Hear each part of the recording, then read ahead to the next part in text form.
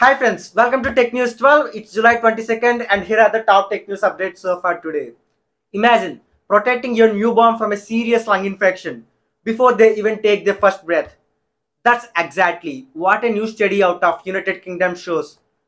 Pregnant women vaccinated against RSV, respiratory syncytial virus, passed on a virus fighting antibodies to their bodies. Study shows that just one shot during pregnancy lead to a 72% drop in newborn hospitalization from RSV virus.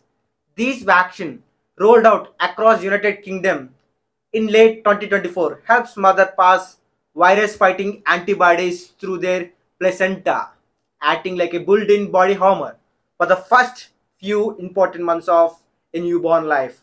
Next, scientists have just made a mind-blowing discovery they found a hidden code inside our DNA. For years, experts called parts of our DNA junk, thinking they don't do anything. But now, they learn something about it. Those parts are not useless at all. In fact, they are ancient pieces of viral DNA from viruses that infected our ancestors millions of years ago. And guess what? These virus codes still play a huge role today acting like tiny switches that turn our genes on and off while we are developing in the womb. They are called transposable elements and they make up nearly half of our DNA. Half.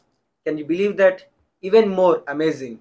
These viral switches may shape how we grow, how we think, and even help explain what makes us human different from chimps and gorillas our so-called junk DNA might be the key to what makes us humans. Next, are you worried your data is used to train AI models?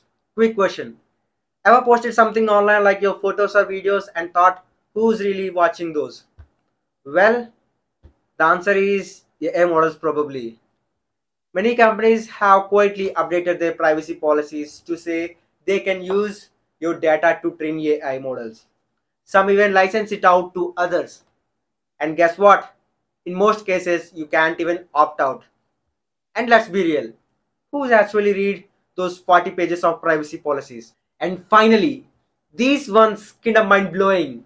OpenAI says their new AI model scored gold at the International Math Olympiad with no internet access or external tools. The AI future isn't just talk anymore.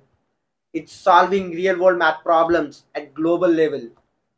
But it also raises such serious suspicious questions about what happens to the human race if these chatbots outperform our lives in solving maths or physics or anything that what's need in this life. What comes next? So if you like this video, please follow 01 Byte for daily tech news updates. Thanks for watching. Have a great day.